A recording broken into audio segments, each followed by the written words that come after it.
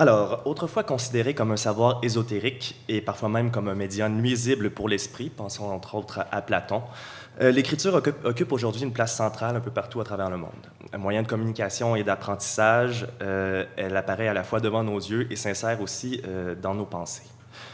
avec l'alphabétisation à grande échelle, n'importe qui peut s'adresser à n'importe qui sous forme écrite. Euh, la publicité en fait un grand usage. Euh, les noms de rues et les indications routières se laissent lire à chaque instant.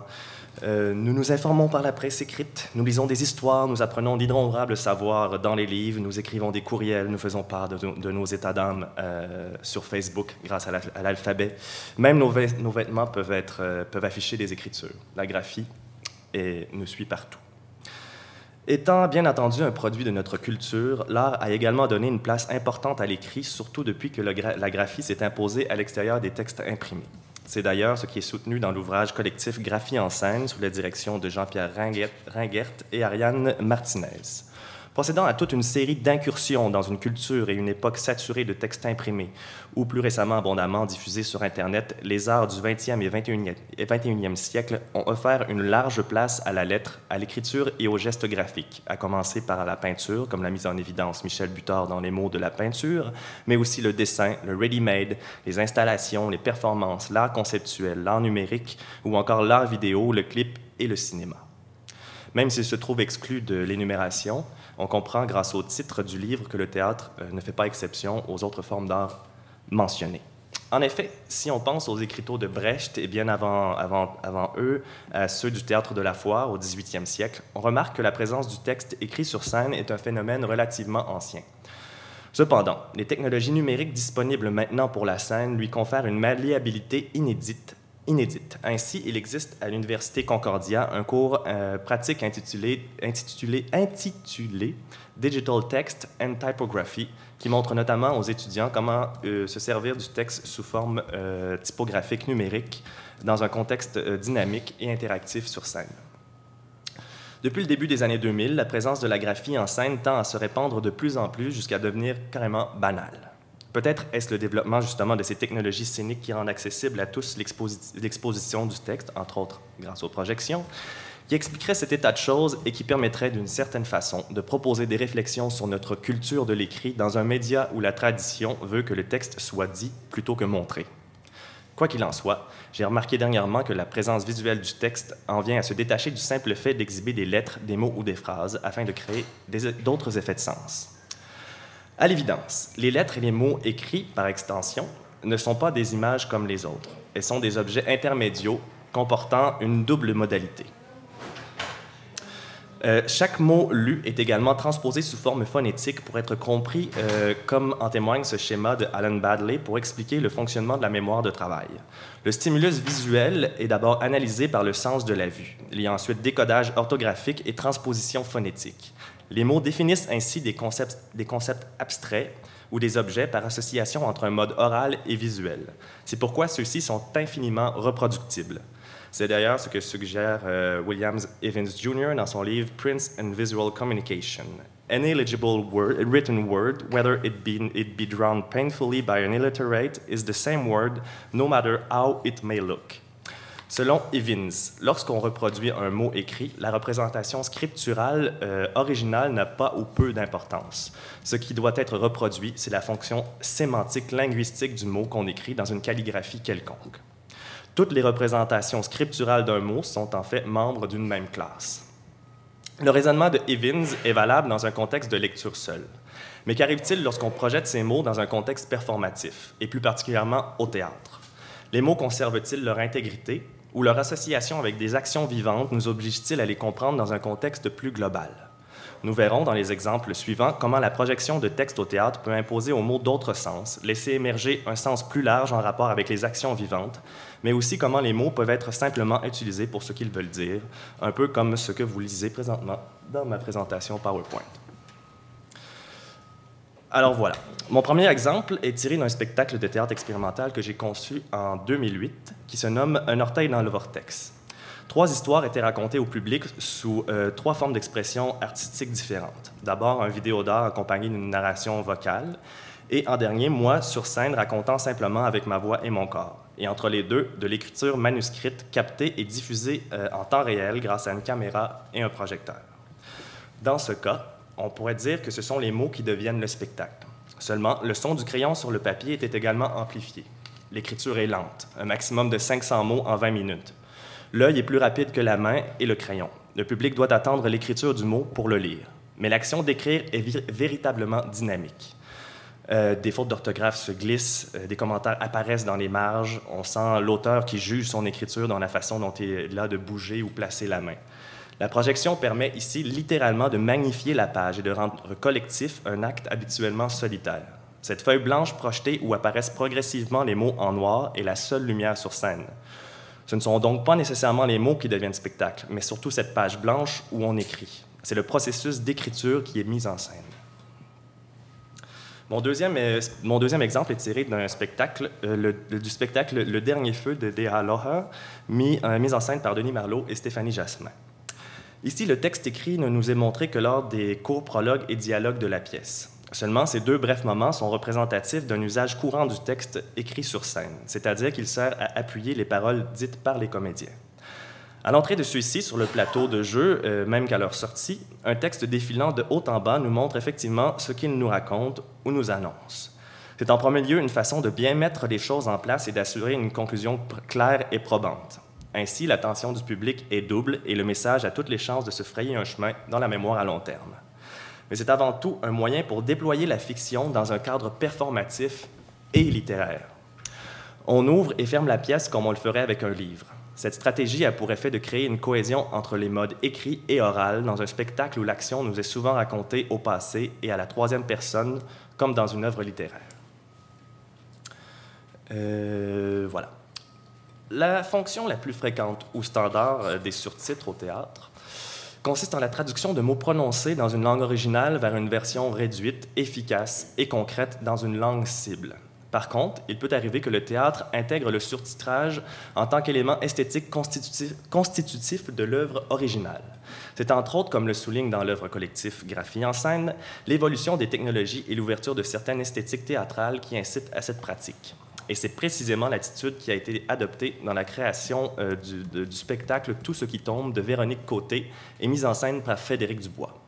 Ici, les surtitres ne permettront pas d'étendre la tournée et ne visent pas nécessairement à accroître les échanges culturels, car ce n'est pas le texte entier de Véronique Côté qu'on traduit au moyen, au moyen des surtitres hors normes, mais simplement les dialogues allemands qui composent près du tiers de l'œuvre.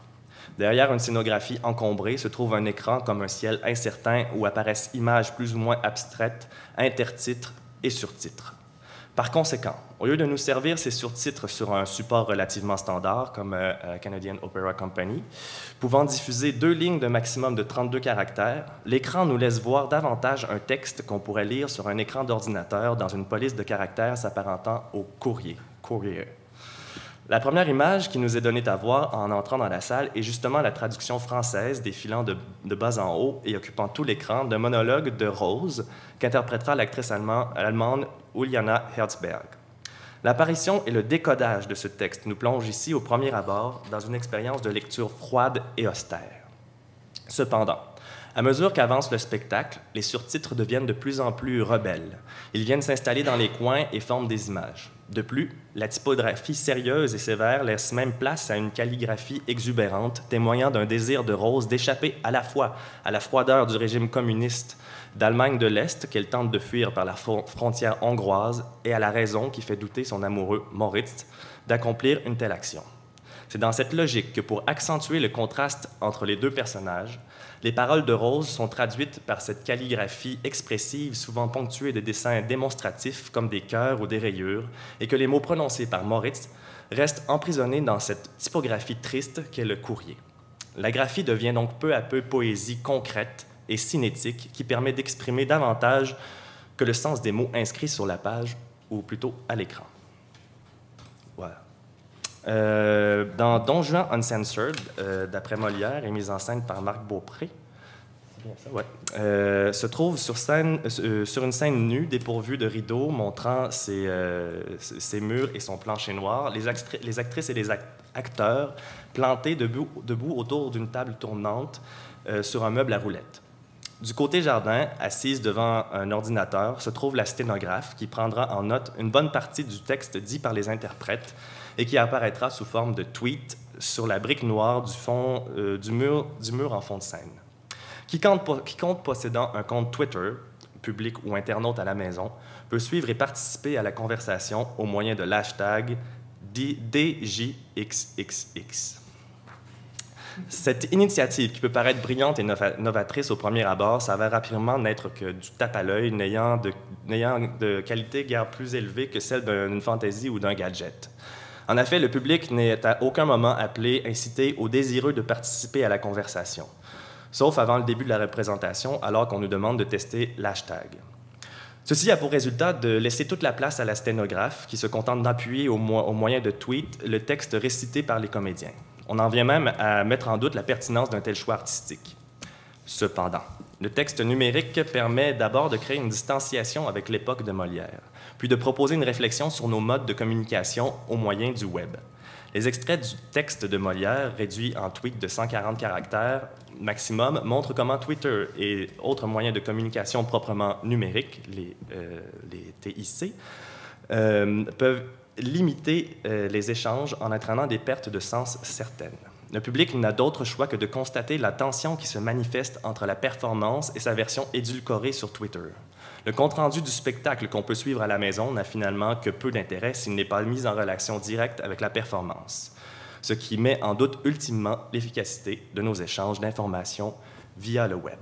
Euh, donc, euh, comme vous le voyez ici sur, euh, sur l'écran, ou peut-être pas à cause de la définition, il y a un écran, un écran translucide sur lequel est projeté un texte en fait qui vient d'un espace de clavardage. le texte apparaît devant la danseuse qui fait son numéro. Bon, vous n'êtes pas capable de lire le texte, mais euh, pour résumer rapidement, c'est un homme qui demande aux, autres personnes dans l'espace euh, de, clavardage où il pourrait trouver un peep show à Montréal.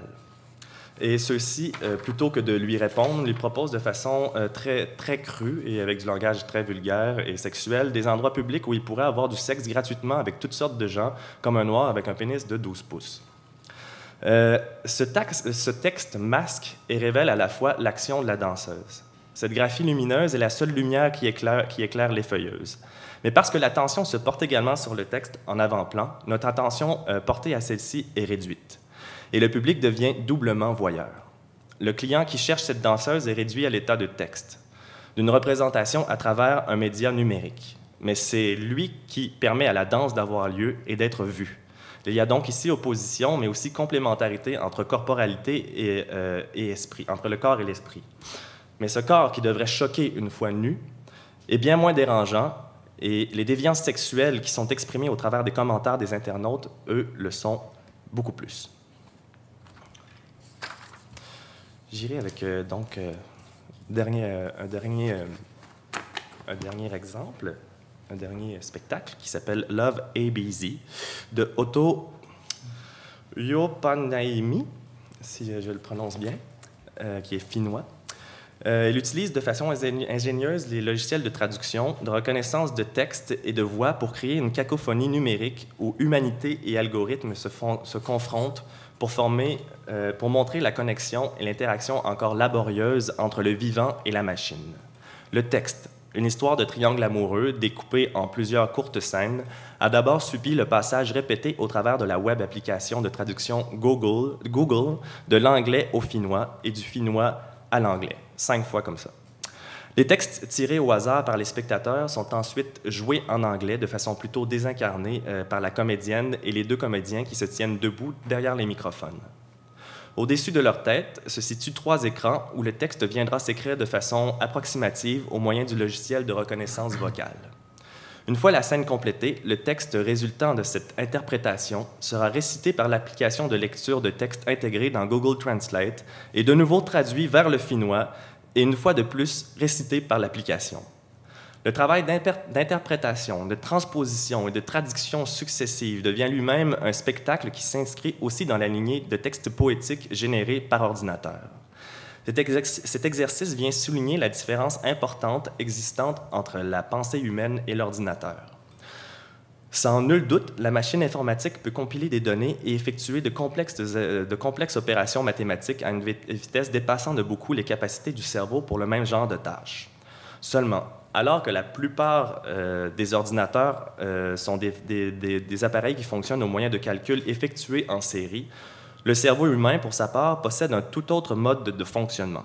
C'est ainsi que dans son livre The Post-Human Condition, Robert Pepperell affirme ceci. There can be a little serious resistance to the belief that the incalculable intricacy of the brain, with, with its massively parallel interconnection of neurons, supports, supports much of our intellectual activity.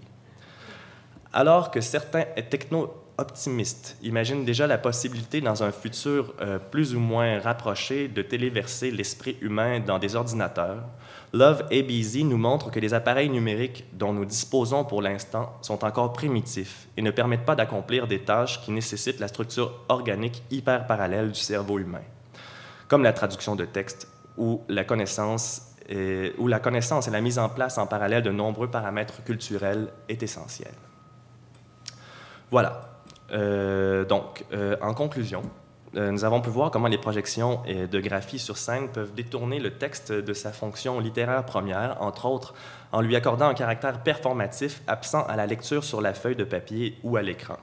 Mais comment aussi ces projections permettent justement de laisser apparaître des tensions entre performance et texte écrit, et aussi entre la médialité et la corporalité? Le texte rivalise souvent avec les acteurs pour capter notre attention. Si un texte apparaît devant nos yeux, le premier réflexe est de le lire. Pensons ici euh, au, film sous-titré. Des fois, nous, euh, nous, comprenons bien la langue dans laquelle la, langue originale du film, mais s'il y a des, sous-titres euh, au bas, nos yeux ne peuvent s'empêcher de se déplacer au bas de l'écran pour lire les sous-titres. le texte capte l'attention inévitablement. Et de plus, la luminosité de ces graphies dans un espace relativement sombre, dans l'espace relativement sombre de la scène attire d'autant plus le regard.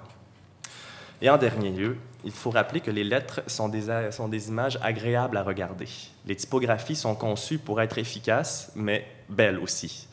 C'est alors qu'en compétition avec les acteurs, ce texte lumineux qui attire et flatte l'œil peut devenir jusqu'à un certain point ce que dans son ouvrage Le théâtre post-dramatique, Hans Tiesleyman appelle une expérience esthétique qui exige et permet ici un plaisir des yeux réfléchis, le vécu conscient d'une perception purement ou à dominance visuelle en tant que telle, indépendamment de la reconnaissance des réalités illustrées.